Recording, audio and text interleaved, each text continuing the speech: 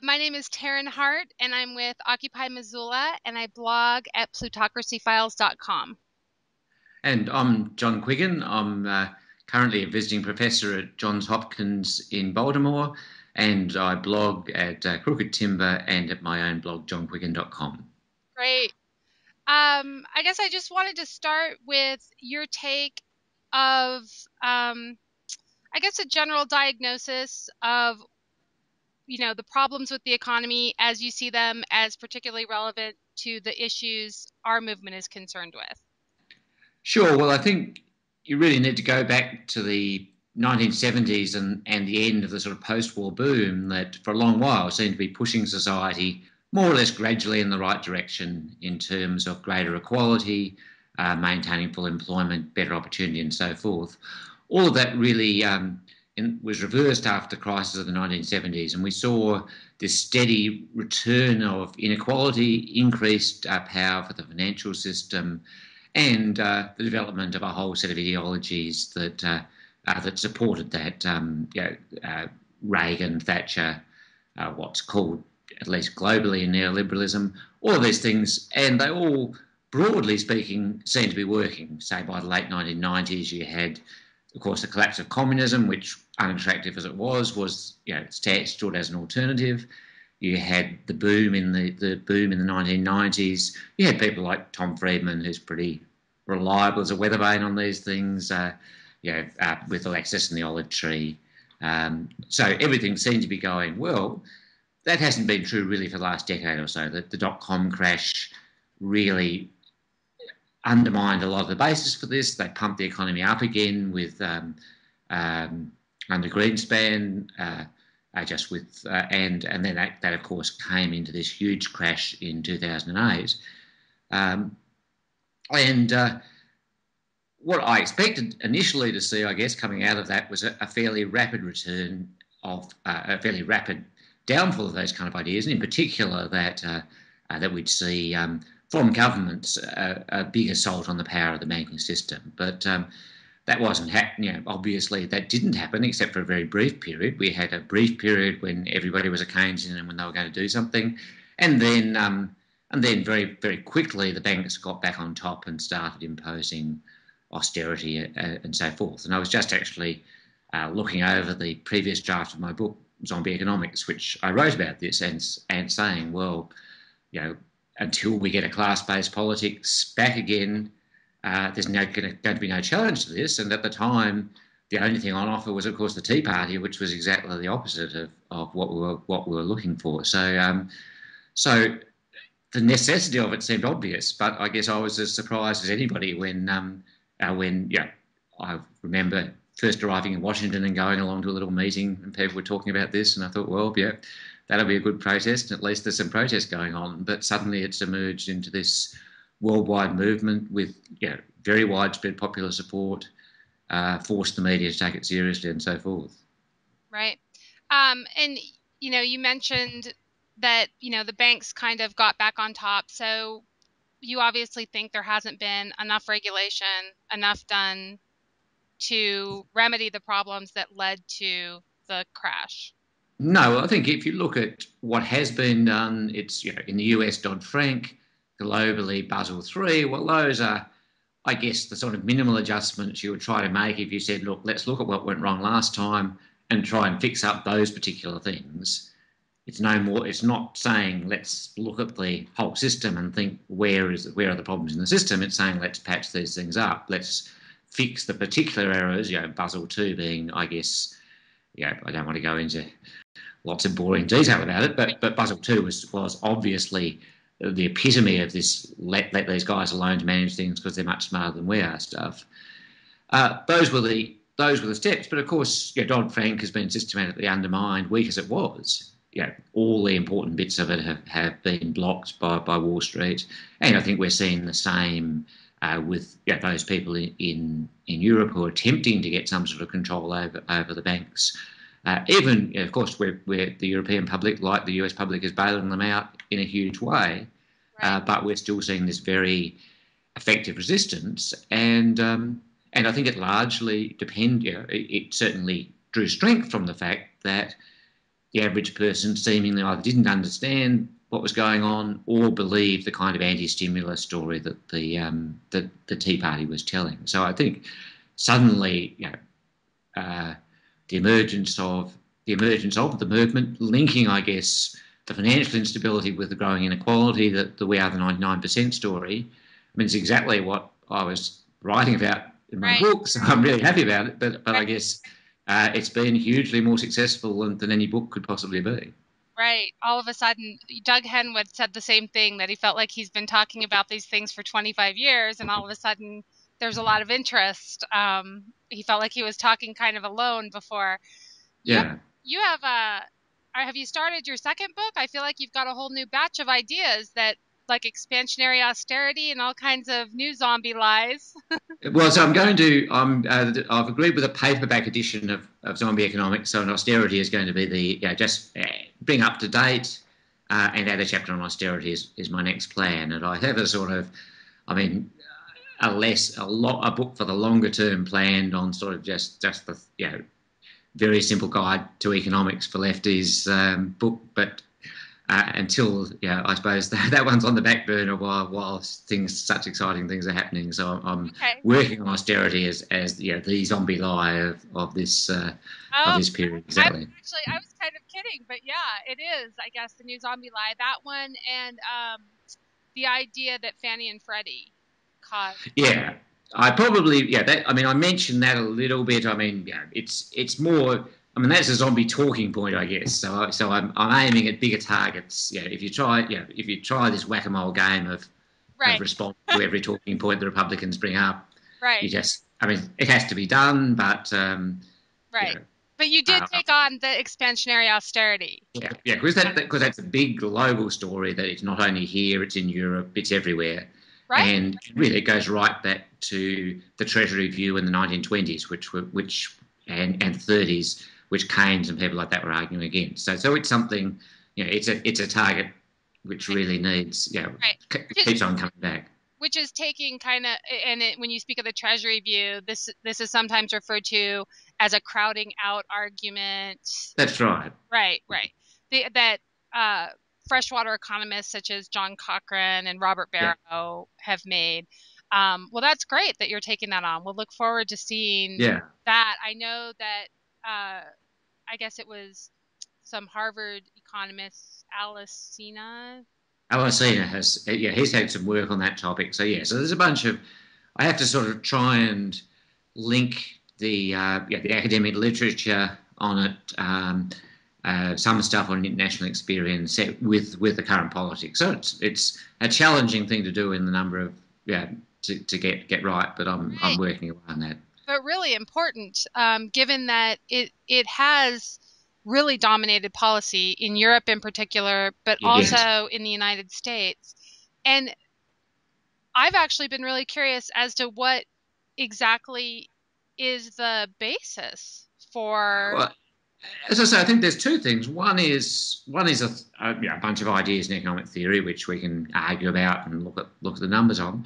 But I think there is a sort of natural masochism about these things that people feel feel we should we should, yeah things have gone bad. We must have done something wrong. You know, in the old days, you know, find your best bullock and sacrifice it.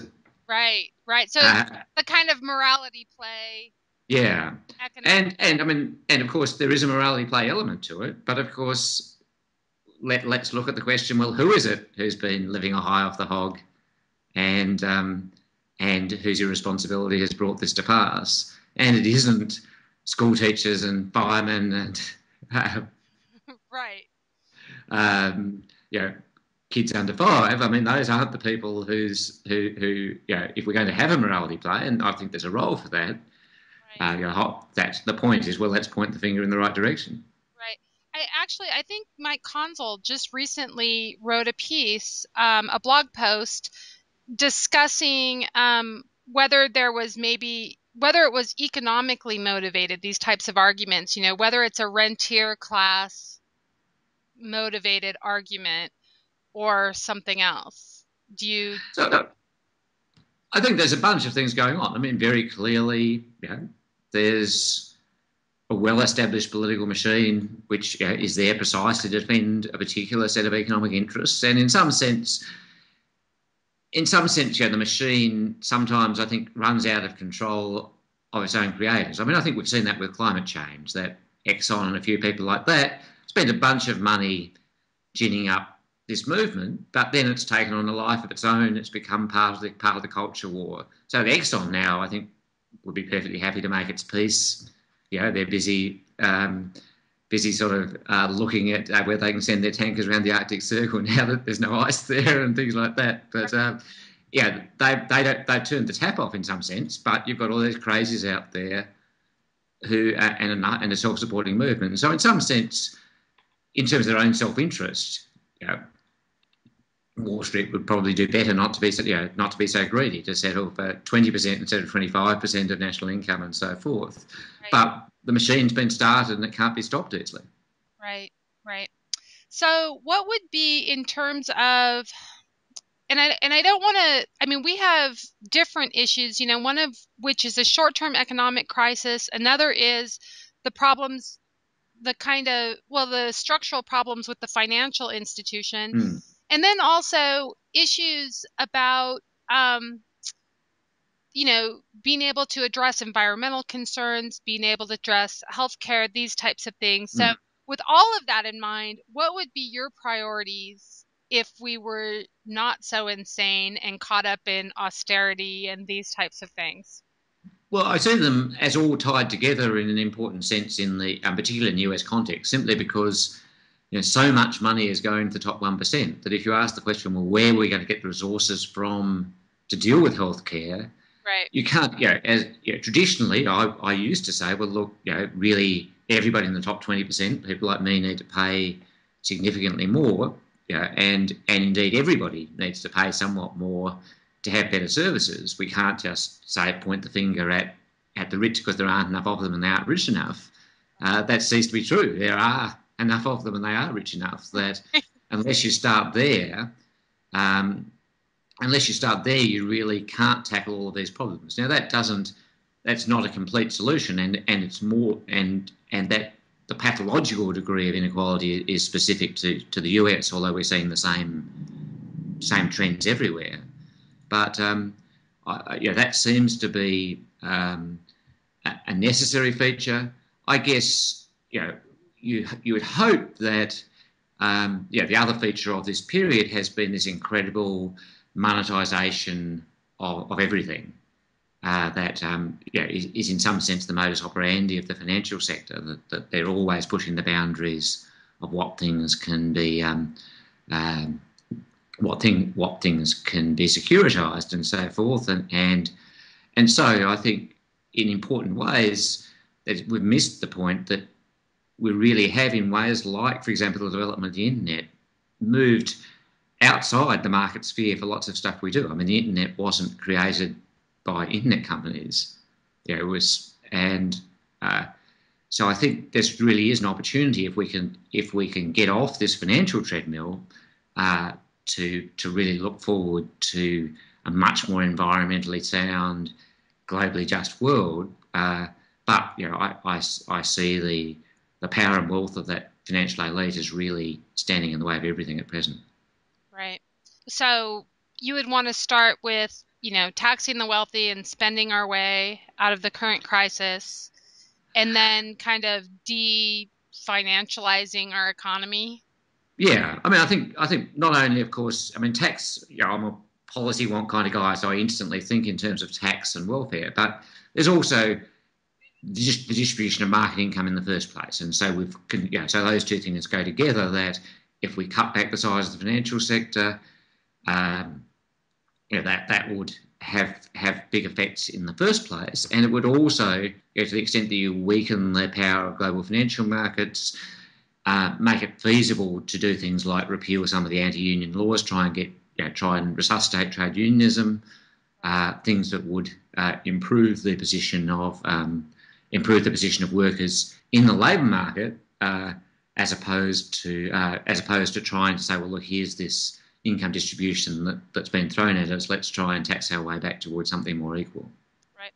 Uh, and I'll I'm going to use just as a jumping off point, um, get your thoughts. Mike Konczal had written a piece early on uh, when this movement started, suggesting concrete demands. Uh, the demands word has become we we kind of want to avoid the demands word. Yeah. Uh, but just in terms of kind of brainstorming ideas about what potential solutions would be, and I believe his th- his top three were uh, canceling the debt, uh, holding Wall Street accountable, having some criminal prosecutions, and a financial transaction tax.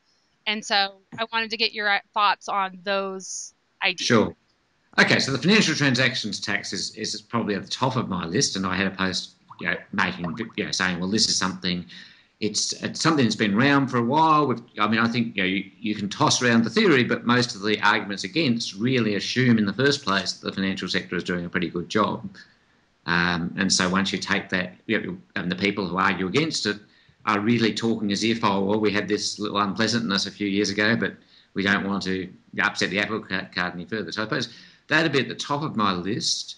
I think, um, I think, yeah, some. I mean, uh, in terms, yeah, so something big in terms of of the various debts that have been built up. I think there has to be, yeah. So that's, um, I, yeah, probably in some ways a more significant short run step, and it varies a lot, you know, in. Uh, but we really need some inflation, obviously, to just say, look, all of this, you know, at this point, at this point, it's impossible among debtors and creditors to say, well, who are the bad ones and who are the good ones. We, you know, too much debt was created; it can't be made. The debtors are certainly suffering. The creditors, all, you know, all of them, innocent guilty, have to suffer a bit, and that means um, that means you know, some inflation, some write-downs, all those kinds of things. I guess I'm I'm on the Wall Street thing. I, I guess I've come to the conclusion that that oddly that I don't think there is any scope for criminal prosecutions, and I think that's an important point in favour of the movement. It, it is the case, as far as I can tell. There's almost no. I mean, Bernie Madoff got off with sixty billion dollars, and there's probably yeah. I mean, there's there's always some criminals out there, but if you look at the leading, if you look at the the leading figures, the the Goldman Sachses and all these people, the crime is that it was all perfectly legal. None of them did anything criminally wrong, from what I can tell. And um, and so again, the point is to hold the whole system responsible rather than to have one of these perp walks where we identify, you know, ten or twenty, uh, as was done with the dot com crisis. You know, I mean, there were a bunch of people who went to jail over that. Well, that didn't do us any good at all. I think I think the difficulty is to try. Yeah, as, yeah. Tr- the difficulty is that most of these people managed to retire and walk away with all this money that's going to be very difficult to claw back in any fashion. But um, but my view is, yeah, it's it's collective guilt rather than individual guilt that's the uh, the issue here. Right. Um, and in terms of you know debt restructuring, uh, I mean, do you think there's you know one of the theories, and I don't want to get too into jargon, is that you know we're the demand is being held back by balance sheet problems. That yeah, I mean, um, yeah. So I think there's a bunch. There's yeah, there's almost certainly a bunch. Of, yeah, a, a good deal of that. Um, right, that there's a debt a thing. Right, to yeah, use and kind of Rogoff Reinhart terminology. Yeah. So I think, I mean, I think, yeah, we're a part company with those guys. Of course, that yeah, I mean, they're very much on the. I mean, although analytically, I sort of agree with them as opposed to the Chicago. These people are very much on the right, and I think yeah, their hostility to fiscal stimulus, I think, doesn't make a lot of sense. So I think, I think as well, uh, yeah, I think I, I would say we need, yeah, we really need another big round of fiscal stimulus. Uh, contra to various people I keep on arguing with on the left, we need in, in the end, if we're going to maintain that, it needs to be paid for and it needs to be paid for by the top 1%, largely. Uh, but yeah, we also need to fix up, yeah, fix up these overhanging debts. The house, the house debt. I think my, I would say, uh, you know, in my grand plan, we, we try for a large scale write down, and the payoff for that is we kill the mortgage interest deduction, which in the US, which is really serves only to uh, benefit existing house owners and to prop up and to, and to push house prices higher. Now, that, that yeah, it really was a cause of the problem. So, so that would be a sort of part of the package. some sort of re redo on student, yeah, at least for the future, some sort of redo on student student loan financing, I think is needed. And I think at, a minimum, I think yeah, we need to repeal the bankruptcy exemption, and uh, yeah, and, and uh, the bankruptcy exclusion and things like that. And then the Europe, the Europe problem has a whole bunch of complexities of its own. But the basic thing is, I think that we just need to accept that, you know, the rules have all been broken across a range of things the idea that debts are a sacred bond. You know, companies don't believe that. They go bankrupt and default on their debt and reappear, uh, you know, uh, having um, having conveniently got out of their obligations. Yeah, that's you know, so we should, I think the kind of mora- again the kind of morality play that says, well, you pay your debts. Well, that might be true if you, if I borrow ten dollars from you. It's not true in a world where debt is essentially a financial instrument. Right. Um, created in this way. So I think we need to we need to do a bunch of big things about debt. As I say, how much effect that would have, I don't know. I think we certainly need direct. Well, we certainly need to withdraw to end austerity at a minimum, uh, and you know start putting people back to work. As I guess, you know, the jobs the jobs bill finally sort of suggested some tiny steps in that direction. So that's that's good. But not near enough. It sounds like not near enough, and of course, it only symbolically. You know, not. I mean. Um, well, I, I, don't think it's worth going over the missteps made by made by the administration. But um, um, you know, if that if that bill had been presented, you know, three years ago, as Mitt Romney more or less said, yeah, we might we might we might we would have had a very different history. Um, right. As it is, I guess people have people have taken a long time before we've, we've broken out into things like Occupy Wall Street. Right. Uh, right. I mean, I think in large part because there was a lot of hope put in Obama. Yeah. In 2008. Um, mm. Yeah. And and I guess I was I was surprised just in political terms that having got in in the crisis, he didn't he didn't say, yeah, if his, if his advisors told him he couldn't do two things, say, well, look, healthcare is now going to be for my second term. This term is going to be all about jobs. I mean, that's I would have thought politically a no-brainer, but um, but it didn't happen, and so we've, we've ended up, um, and of course, yeah, the ties between the administration and Wall Street were so incredibly close, um, and are, and are. I think, yeah, I think, uh, uh yeah, as I say, I think a positive feature of this is that that it's going to be that that tie is going to be forcibly broken. I think simply by the fact that Wall Street can see now there's so much pressure on Obama that he can't be as nice to them as the other side would be and and so they're already, I think, jumping ship. Right, headed. And, and hopefully that will be a cumulative process. That the more the more they favour the other side, the more the less the chance will be freed and forced to um, uh, to go our way. Whether whether uh, whether they can understand that that I'm I'm not confident, but we will see. I, I just want to. Um, I think what I hear you saying, and I and again, I'm going to refer to Mike Konczal. He's done such a great job. I think he's kind of a natural, uh, naturally likes to uh, kind of chart what the various areas of disagreement are and where everybody stands. And he had recently done a kind of Venn diagram, and it sounds to me, and he had for the people who are demand siders, he had a separate mm. Venn for kind of the supply side crowding out folks. But for yeah. people who are the demand siders, he had, uh, you know, three prong, three different areas, which were fiscal stimulus, monetary stimulus, and and mortgage restructuring or debt restructuring. Mm. And it sounds to me like you're in the middle of that, then, but that you would support all three of those aggressively. Yeah, although I guess I, I would say, you know, I mean, as, as compared to other people, I'm probably less less keen on monetary stimulus. Yeah, I, yeah, I'm, I'm as as as was said, a new old Keynesian. I mean, I mean, uh, compared to compared to others, say say Paul Krugman, who I general, generally agree with, would say, well, look, in general, we don't use fiscal policy. It's only in this last resort situation. Whereas I guess I would be, look, uh, whenever, yeah, let's let's use active fiscal policy all the time. Um, and you know, and coordinate fiscal and monetary policy. So I'm, I'd say yeah, I'm more a fiscal policy person than yeah. And again, with mortgage restructuring, I sort of see that as well. Yeah, that, that's a once-off thing we need to do to fix things up.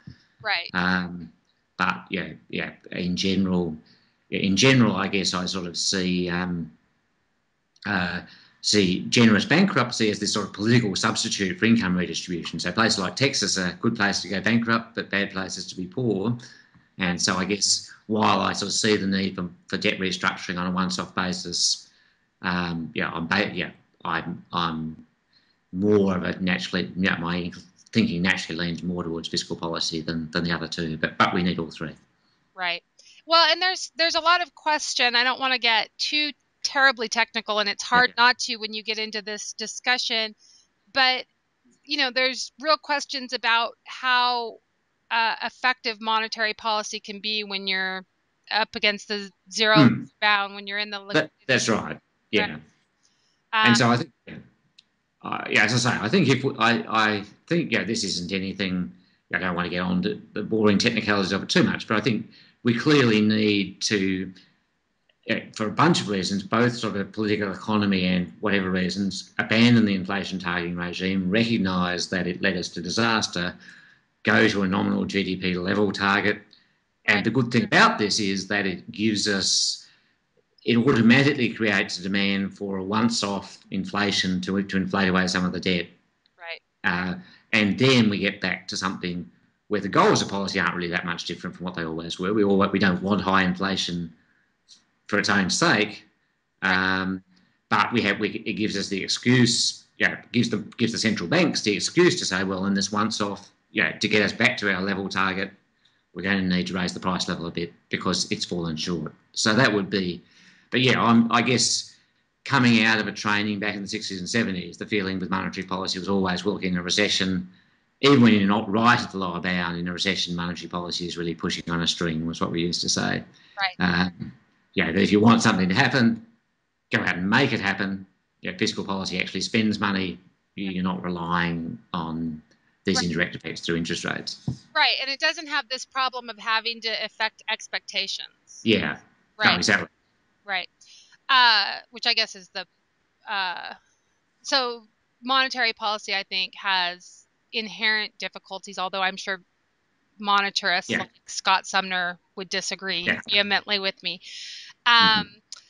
One of the things, you know, Paul Krugman very briefly wrote about and then talked about in a London School of Economics lecture that, you know, he really thought that, I guess he suggested that our system is inherently unstable, that it can go for maybe a generation, but not much more. And there's certainly concern, I think. I don't hear a lot of talk among economic folks about the fact that this thing is really crashing too much. and yeah. how, how do we can we get our handle on that? How do we get a handle on that? And yeah, and I, I honestly don't know because yeah, I mean I'm old enough to remember when we thought we had all this stuff fixed, the Keynesians had it all fixed, and that all fell in a gigantic heap, and fell in a heap because, you know, in large measure of overconfidence. I mean, part of it was overconfidence among you know, business people who had been scared and responsibility when you know, when you know, the first of the financial operators started. But it's also true that that the left went you know, assumed that we could do what we liked and that the system would always be there pretty much. Um, you know, that, that if we if we heightened the contradictions a bit, that um, uh, that you know, the outcomes could only be good. Instead of which uh, we, we precipitate know, the the um, certainly outside the US, less so in the US, but yeah, the wage, yeah, the huge wage demands and, and things like that, that that happened. But the general air of sort of unreal is, you demand the impossible and so forth that was there.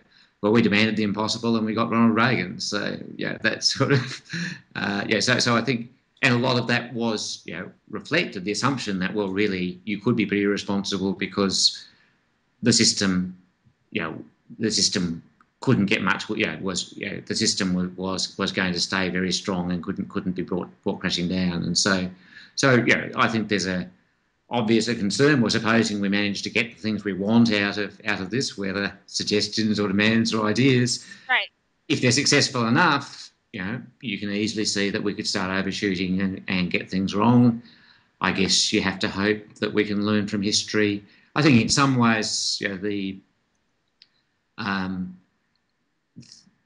the the kind of the growth of sort of environmentalism things will, will, will, in some ways I think cut against that in terms of trying yeah if we can get if if while attacking poverty we can also sort of encourage a less materialist view of the world let, yeah, less demands for those things that might that might help us to be more sustainable in the long term. But I suppose for the moment I think yeah let's let's fix this crisis and try and get back on the right track and then hopefully we'll remember not to get too greedy ourselves uh, if we ever get the chance to be. But, but for the moment, it's the of the 1%, I guess, that's the problem.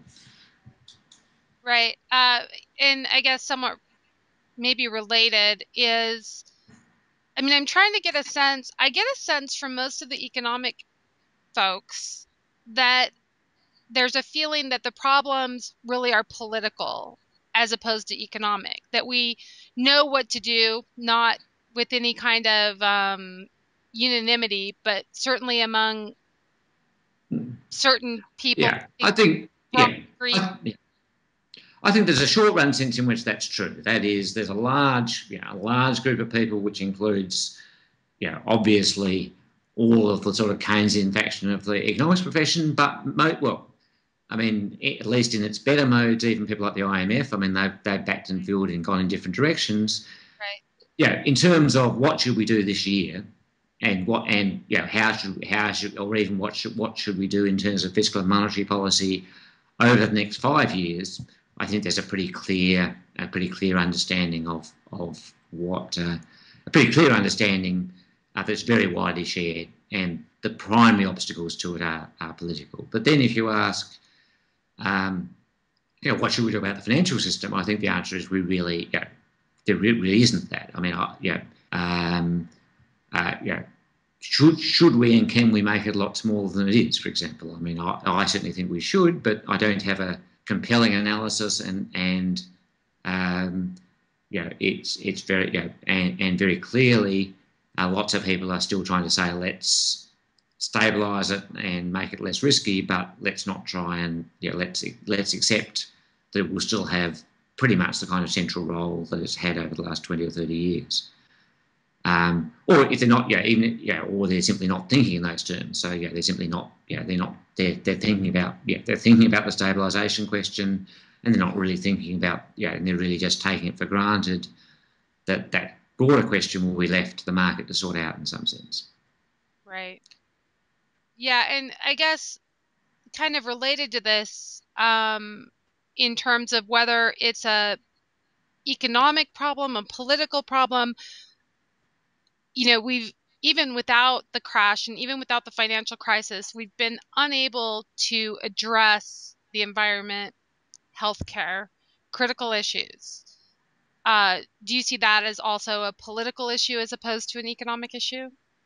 Well, I think it's, I mean, it is, um, uh, again, well, certainly I think the environmental issue is, almost entirely political and, and indeed cultural. So, so, going way across the economic policy spectrum, you wouldn't find many people who, um, you know, there's a tiny fraction of, of, of, you know, people who are culturally invested in the in the in the Republican Party culture. Yeah, probably more. Yeah, quite a few at Chicago, for example, I'd say who. Yeah, who even are science denial, yeah, are closet science denialists in, in, in a lot of cases, and very clear. Which I mean, since anybody numerate can tell these guys are are full of it. You know, these, these are people who really, I think, have lost intellectual standards. But that's a, a pretty small group. Right across the profession, you've got very, you know, very widespread agreement that rel- a relatively modest carbon price, done one way or another, would, you know, uh, you know, there are various ways to do it. That that would, uh, if we could get there, would yield very substantial benefits at, um, you know, at quite modest costs, wouldn't entail the end of capitalism as we know it, and all these things. Uh, so yeah, in that sense, yeah, the, the obstacles are very much that, for, uh, yeah, for one, yeah, for various reasons. As I say, I think not so much not by design, but you know, by yeah, that by people like Exxon having created a monster they can't control, that it's become an issue of cultural symbolism. Like you know, it's you could predict people's views on this much better from their views on gay marriage I would predict them from their views on uh, economic policy um, that, that it has become this cultural tribal issue for the uh, uh, for the right, and yeah, they've, they've been in, know, they've really uh, blocked it in ways which yeah, we'll look back on, I think, with horror. Healthcare is a much more yeah, a straight economics issue. There's a lot of money, a lot of money there, a lot of very powerful economic interests. The pharma companies, the insurance companies, the medical lobby all, all have their views, all, all are, are defending their corner. Um, it's something where, yeah, but I mean, that said, yeah, we we had, yeah, we, the, I mean, the the Bush uh, bill, yeah, the Bush prescription drug bill was pretty terrible, but but it, it was yeah a response to the need. Obama's legislation again not great. Mate, yeah, so so I mean, pro, yeah, that's an area where I think. Yeah, the US, of course, is an outlier. Yeah, into, yeah, in other places, the, the problem is to defend their past achievements rather than moving forward. So I think, yeah, I don't want to give up too much on those things, but very clearly, all of this is against a background of, of very constrained budget resources. And when you ask why they're constrained, the answer is because more income is going to the rich and they're paying less tax. Right. Eh, do you have the sense that among economists, uh, among Keynesian economists, that there's a pretty broad um, agreement in terms of what we should do, at least in the short run? Yeah, I would I would say the general view is, you know, I mean, clearly that the world needs substantially more fiscal stimulus right. and yeah, more more yeah, more expansion, and that you know the uh, you know the concerns about crowding out can be addressed once, we're back near full employment, where there's where there's something to be crowded out. So I think, I yeah, I really don't. Yeah, I think the big problem with the other side of this story know, is the crowding out story if it's true, also implies the economy should always be at full employment.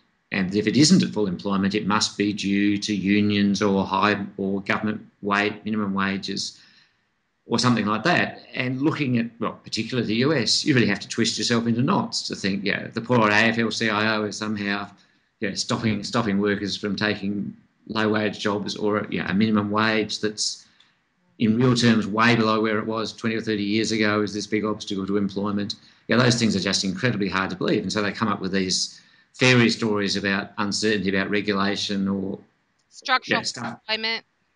Stru- yeah. Structural yeah. employment, right? Yeah, and and these things, yeah, I mean, not, you can't take them seriously, yeah. Um, but they're that, coming from really, you know, it's not like it's just coming from politicians or kind of, you know, no. Casey Mulligan, who is yeah, right- professor. I know. Well, I mean, no, I think I think I mean it is. Yeah, yeah, I think it is quite scandalous, and we really are. We really are. I think, you know, getting to a point in the economics profession where we are. Yeah, we we've all sort of, in some sense, got along, and you know, back in before the crisis, yeah, the different macro schools were sort of talking to each other hoping to resolve their differences in the manner of reaching out across the aisle and this kind of thing. I think you know, we really are at a point where people like Krugman and me are looking at the Chicago guys and saying, "You're lying. You know, you can't seriously believe this stuff." And, um, and they're they're coming back with the same to us, um, I guess. Um, and so we're really, you know, uh, we really at some point on those issues, you know, we'll have, you know, may have, you know, we, we really aren't operating as an economics profession. Yeah, I mean, it's it is it is a problem that um, yeah, you then have ceremonies like giving the Nobel Prize, and yeah, one guy's yeah, we're giving it to people who say say the other guy is not only wrong, but in some sense willfully wrong. Right. Uh, that's um, that really yeah, I think it, it really is something which is going to uh, uh, yeah make our conferences considerably less jovial affairs in the near future. Right, right. I mean, you know, Krugman wrote fairly early that it wasn't so much that the economics profession didn't see this particular crash coming at the particular time, but that they didn't, they couldn't see even the possibility of it happening. At least the the freshwater folks couldn't, mm. and the saltwater folks, by and large, thought to the extent it could happen that it could be completely handled by the Fed, right? Yeah. So we were really not equipped to handle the economics profession wasn't in a good position to handle this situation and it's yeah maybe allowed various economic interests to assert themselves, political, economic interests to assert themselves because of the confusion. Hmm. There's that. I think there's also, yeah. I mean, I yeah.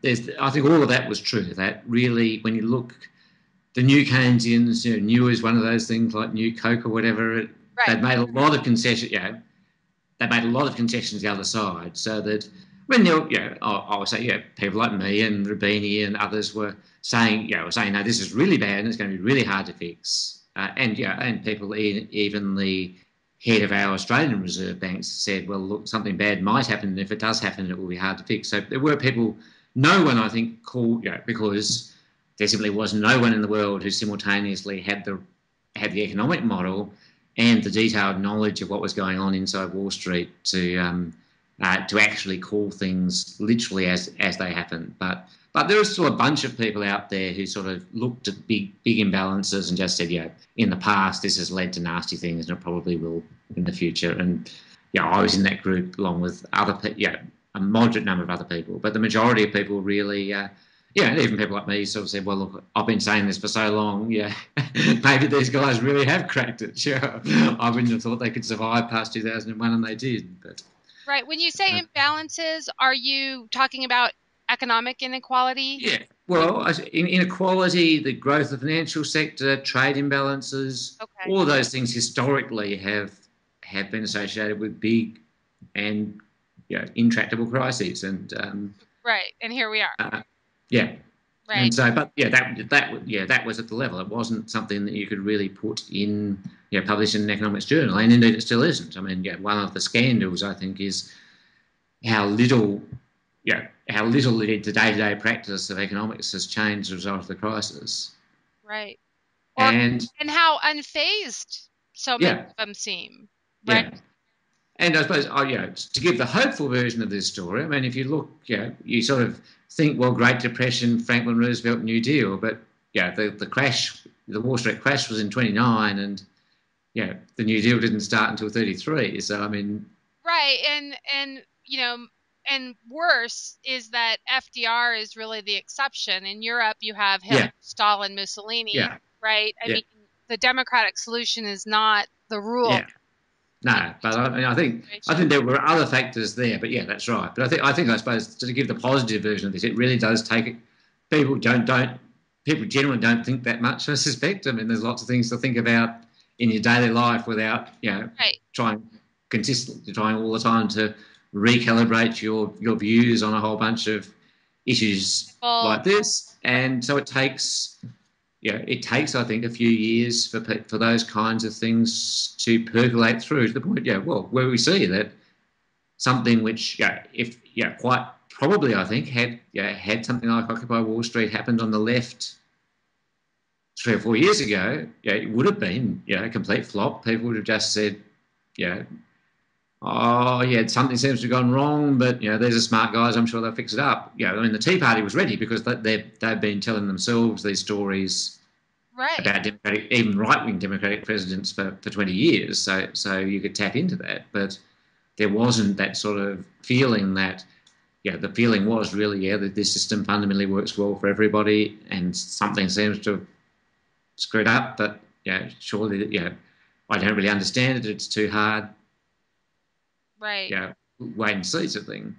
Right. And especially with Obama, yeah, the hope, hopes we had in Obama, I guess. So. I, I just remember that there was a lot of talk about, you know, we're not going to make the mistake of Japan in 1997. Yeah. 1937 mm-hmm. was all the talk, and there was, mm-hmm. it sounded like people were going to do the. Well, I think yeah, I think that that talk was confined to a, a tiny, tiny group of people who were not, yeah, so a group of people who were neither very numerous, yeah, very numerous in the sense that, yeah, the average, yeah, the average person in the street was worrying about Lehman Brothers, but they weren't worrying about Japan or 1937. Right, right. And the people in power pretty rapidly turned out to be, you know, I mean, yeah, the, the, the people within the Obama administration who thought like that got marginalised very early on.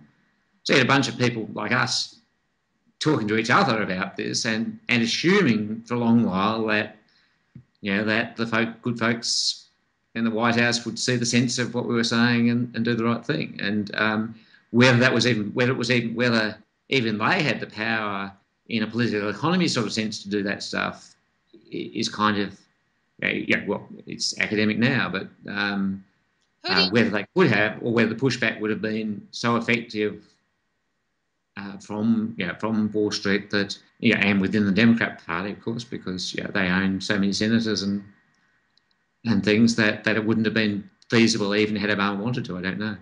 Right. Who do you think are the deficit hawks in the administration? Is it Obama himself? Is it Geithner?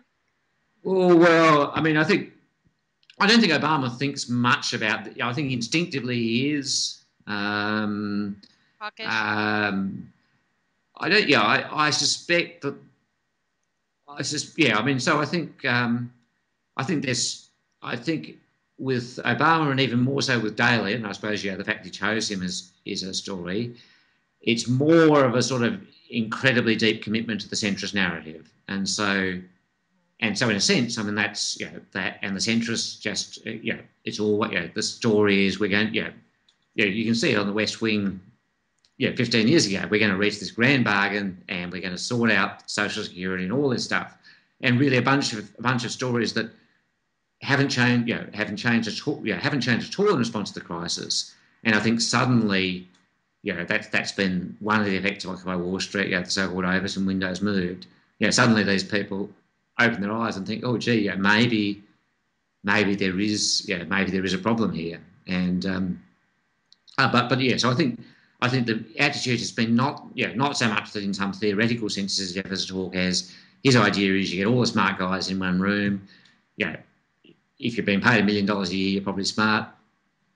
Um, and the smart guys will work out the solution, uh, free of the extremes of both sides, um, right. and, and all that kind of thing. And so I think that's been the that's been the story. And of course, then you've got yeah, yeah. I mean, I think the other side of it has been the you know some you know, people like Geithner, obviously their job is to maintain the financial system more or less as it is. Um, yeah, that's what he's done for a living for, for all of his life. So, um, unsurprisingly, that's his view. Right. Well, did you have anything else to add that you think it's important for people associated with our movement to know about or? No, look, I mean, I, I guess I just, I mean, I think, well, obviously, I, I don't, yeah, I would say I don't think we need to think much about demands or those kind of things, but there is, I suppose, a question of, well, look, yeah, at some point it has to go beyond Occupy, and I don't. Yeah, and the question is, yeah, that that's a tactic which has has been incredibly great, and yeah, potentially could run for yeah a year or or yeah for a while. Yeah, but I mean, having seen long, yeah, ultimately, you know, every every strategy and tactic gets old, and so I suppose the yeah, the big question is where to from here. I don't have a, I don't have an answer to that. You know, it's returning to the Democratic Party doesn't sound promising I think yeah, the idea of revolution is rightly discredited. Where, where where do we go? What kind of what kind of popular movement can we build on this? I suppose is the big question that I yeah and yeah. Uh, I, I couldn't predict the success of this one, so I'm, I'm, certainly no better at answering it than, than everybody else. But I certainly hope, we'll, you know, and I suppose the other thing is just, you know, it's, yeah, it's just great that people are doing this, and yeah, it's you know, it's been a huge success, uh, and I think um, yeah. So for the moment, just just hang in there. I suppose is the is the message. Right. Have you noticed that the has has the conversation changed in the past month? Oh, absolutely. I think. I mean, I mean, really massively. I think the the effect has been suddenly that things that things things that would have been laughed at or ignored are now central to the conversation. And yeah, I think the dynamic has been, yeah, the effects have been huge. And it reflects the fact that, yeah, that widespread popular opinion has been crystallised around these ideas now. Right. And so where where are you when you're home? Where do you live? What city? Yeah, in Brisbane, Australia. So in Brisbane, uh, which is very beautiful, and you should come and visit sometime. And uh, about peripheral, far from the centre of any kind of power as you can possibly be, but there you are. Occupy movement there? Uh, we have in Australia, and in fact, we had we had uh, the Melbourne movement just had a big um, confrontation. Uh, uh, one one of the rare cases, indeed, where the police have just come in and you know, batons and out. And... Yeah, uh, Brisbane. People are pretty laid back in Brisbane. I'm sure we've got something, but it hasn't been very big, I don't think. Right. And of course, we don't have a financial sector to occupy, so that makes it. Right, right. But yeah, I was gonna, I wanted to give a little bit of a shout out to Melbourne because. Yeah, no, well, that, that, yeah, I mean, I think, I, I think, I hope that it will have the same effect as um, our friend in New York with the pepper spray. He certainly, he certainly was a hero of the movement, even if he doesn't, he didn't want to be. So, right. so I think. Um, well, thank you, thank you so much for agreeing to talk to us. I hope that you and your colleagues will be hard at work figuring out how to fix this mess, and and uh, hopefully the political will can yeah. result. Um, yeah well, glued to the keyboard, but yeah, it, it's obviously in the streets is just is has achieved more in yeah a few weeks than thousands and thousands and thousands of words. right, but they're important too when it comes. They are, yeah. No, I think that's right. No, there, there's there's there's that both both parts are important. So um, right, right, and we hope that the other will become important. We hope that there will yeah. be real solutions because there is real suffering that's happening. Yeah. So well, thank you so much. Thanks a lot. I enjoyed it. Okay. okay. Bye bye.